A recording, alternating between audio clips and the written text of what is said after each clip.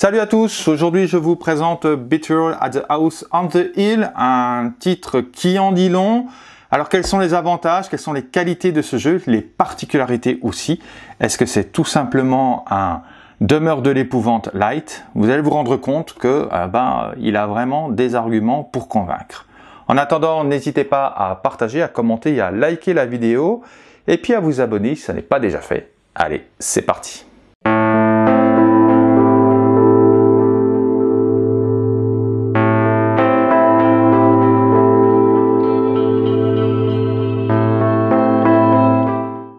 Allez, je vous propose euh, un unbox découverte de Betrayal at House on the Hill.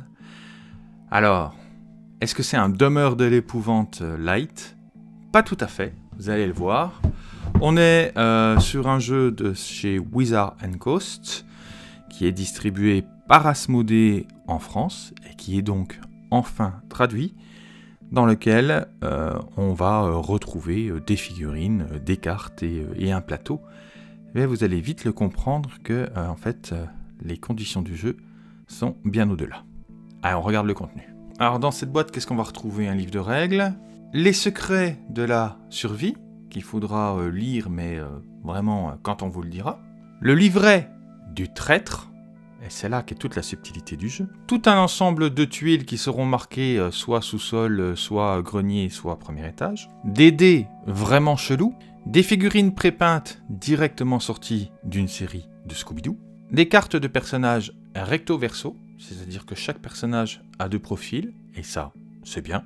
Des cartes événements, des cartes objets, et les très importantes cartes présage. Pour finir, on aura tout un ensemble de petits pions qui permettent de vous faciliter la lecture de jeu. Alors, comment on joue en fait très rapidement à ce jeu? Je ne vais pas vous expliquer vraiment comment on joue, mais je voudrais juste en fait vous expliquer quel est le concept et en quoi il est différent des demeures de l'épouvante. Là aussi, vous avez des personnages qui vont se déplacer sur des tuiles, tuiles qui vont être tirées au hasard et qui vont vous permettre de euh, découvrir euh, des salles, de découvrir en fait euh, le manoir dans lequel vous êtes en train d'explorer, d'engager une exploration. Lorsque vous commencez le jeu, vous commencez le jeu avec une base de départ euh, qui est censée être le rez-de-chaussée, et puis ensuite des escaliers qui vous permettront de monter au palier supérieur, et une carte palier sous-sol pour laquelle vous n'avez pas la capacité de connaître l'entrée, puisque vous la découvrirez pendant votre aventure.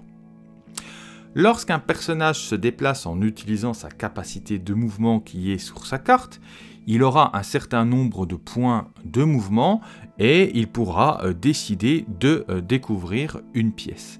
Si je décide de découvrir une pièce ici, étant donné que je suis au rez-de-chaussée, je viendrai tirer dans ma pile ici une carte dans laquelle la valeur rez-de-chaussée est éclairée. Genre celle-ci, la valeur rez-de-chaussée est éclairée, ici aussi, ici aussi. Je ne pourrai donc pas tirer cette carte-là, puisque cette carte-là, elle n'est réservée qu'au sous-sol. Je les ai alignés là pour vous les montrer, mais normalement, vous les piochez ici. Si euh, la carte ne correspond pas aux conditions, eh bien, vous la défaussez et vous tirez la carte qui suit, jusqu'à ce que vous en trouviez une qui correspond à votre besoin. Lorsque je tire une carte rez-de-chaussée, on va prendre celle-ci, je la découvre et je l'aligne au mieux avec la porte qui est présente. Normalement, j'ai toujours au moins une porte. Et là, j'ai du bol et je vous assure que c'est absolument pas fait exprès. je suis tombé sur la glissière à charbon, c'est une glissade en sens unique vers le palier du sous-sol. Donc en l'occurrence, eh ben, mon personnage descendrait directement, hop, directement sur le sous-sol sans forcément en avoir trouvé les escaliers si je comprends bien. Partons euh, du principe que j'ai tiré une autre carte que celle-ci, parce que là elle est vraiment beaucoup trop spécifique. On va prendre celle-ci, on va croiser les doigts. Voilà, très bien.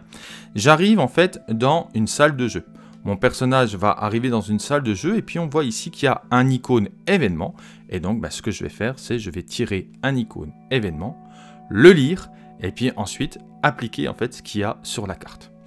J'aurais pu également euh, découvrir une salle avec des objets. Si c'était le cas, je tirais une carte objet et je pouvais acquérir en fait cet objet pour mon personnage.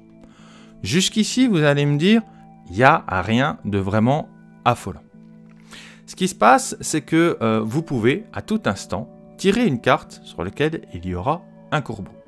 Et si vous tirez une carte sur laquelle il y aura un corbeau, qu'on appelle une carte présage, non seulement il faudra appliquer les effets euh, de cette carte, mais surtout il faudra effectuer un test avec vos dés.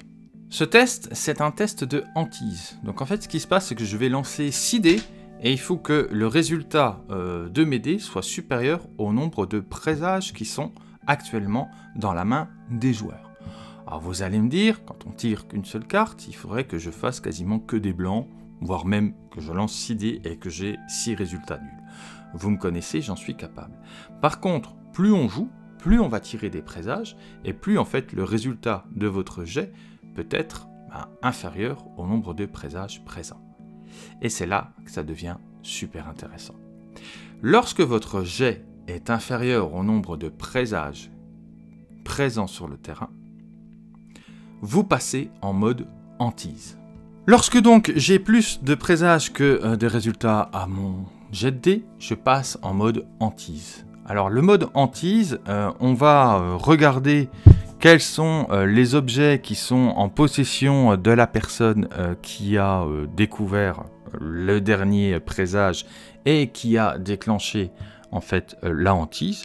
Donc s'il a une morsure, un livre, un bol de cristal, un chien, une jeune fille, parce qu'on peut rencontrer des jeunes filles, un symbole religieux, fou furieux, un masque, un médaillon, un anneau, un crâne, une lance ou, une hodja. Et puis ensuite on regarde dans quelle pièce il se trouve.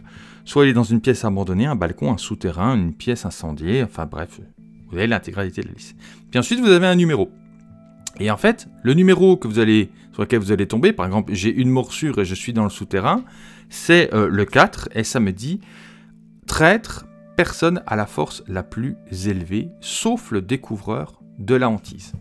Et c'est là, en fait, que le jeu prend tout son sens. Ce qui va se passer à partir de ce moment-là, c'est que le traître va prendre en fait euh, euh, son livret euh, de hantise, alors que les autres joueurs vont prendre le livret de survie.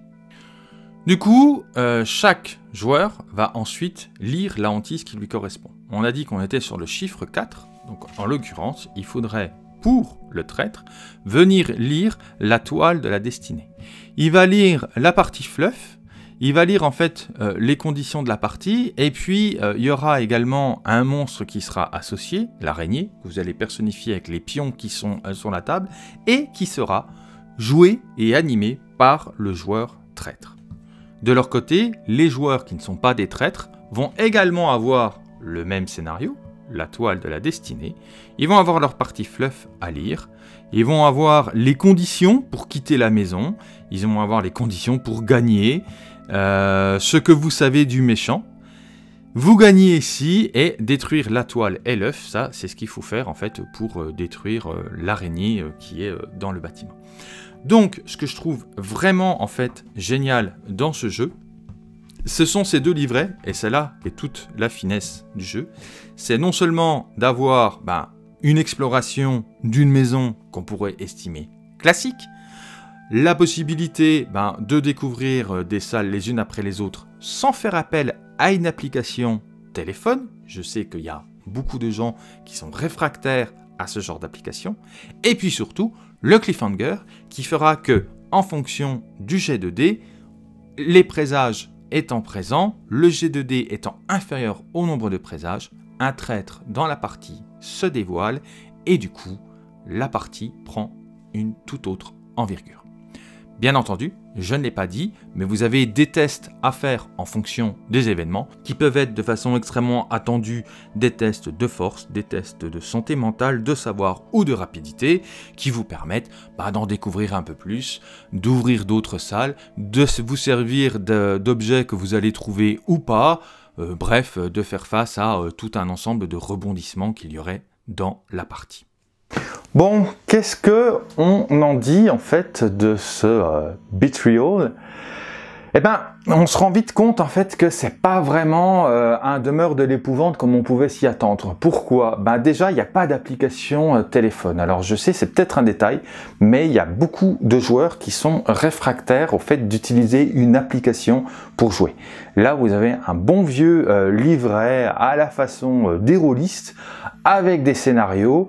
Alors c'est vrai qu'il y a peut-être la difficulté de se dire je vais jouer deux fois le même scénario en fonction du tirage hein, que l'on fait euh, de la hantise, euh, mais euh, il y a également hein, des petites annotations dans le livret qui vous dit ben, si vous avez déjà joué en fait ce scénario, vous faites autrement pour le tirage, on vous explique comment et comme ça vous pourrez diversifier votre expérience. Vous pouvez la diversifier également avec les personnages puisque vous avez deux profils hein, par personnage. Et puis, eh ben, quand même, ce qui est très important dans ce jeu, c'est ce système de carte de présage qui va apparaître de façon totalement aléatoire, puisque c'est un jet de dés, en fait, qui va le provoquer.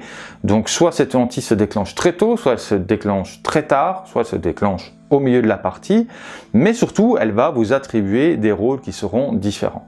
Dans les demeures de l'épouvante, bah, le méchant, c'est toujours l'application. Là, c'est un des joueurs qui sera présent, euh, qui va euh, prendre la main sur la hantise et qui va devenir en fait euh, le personnage à abattre et qui fera tout pour que le groupe échoue dans sa mission.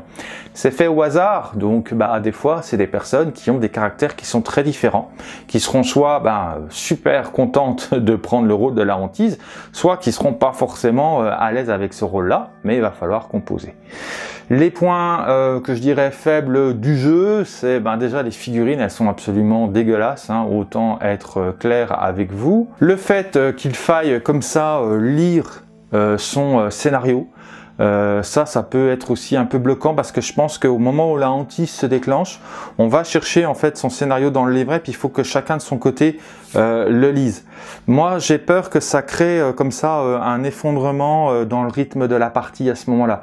J'y ai pas encore joué, mais je pense que c'est un risque on met fin en fait à une première partie. C'est peut-être aussi le moment de faire une pause pipi, mais euh, c'est surtout que voilà, il faut que chacun joue le jeu, euh, prenne la lecture en fait de son livret, lise bien son fluff, lise bien ce qu'il faut faire, comprenne bien ce qu'il a à faire. Si vous êtes avec des joueurs débutants et que le joueur débutant euh, se retrouve à devoir jouer la hantise, si vous avez des casuals, ils sont peut-être pas forcément à l'aise avec les termes et ils vont devoir se faire aider pour la compréhension en fait de ce qui est écrit, même si euh, ça va pas chier loin, mais euh, voilà, faut partir du principe que tout le monde n'est pas forcément à l'aise euh, avec ce genre de jeu, donc il va bien falloir choisir en fait les gens avec qui vous jouez. Et puis ben également le fait qu'il faille être minimum 3 pour jouer à ce jeu-là, puisque en fait c'est ce qui est préconisé, euh, deux joueurs contraints lorsque la hantise se déclenche. Et puis ben quoi qu'on en dise, hein, on le sait tous, on a énormément de mal à trouver du temps, un lieu et le nombre de personnes nécessaires pour jouer pour ce jeu-là, comme pour les autres.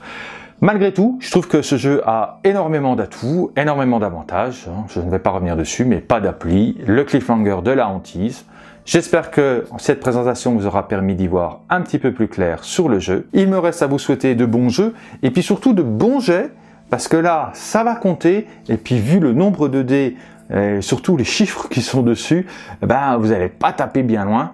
C'est peut-être un jeu pour moi finalement cette fois-ci. Allez, à très bientôt. Ciao